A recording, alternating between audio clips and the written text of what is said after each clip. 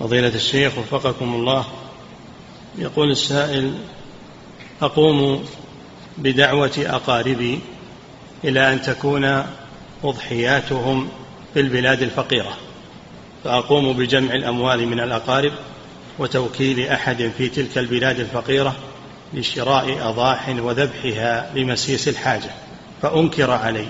فهل هذا الإنكار صحيح؟ نعم الإنكار صحيح لأن هذا خلاف السنة. السنة أن تذبح الأضاحي في البيوت وبين العوائل في البلد بين العوائل.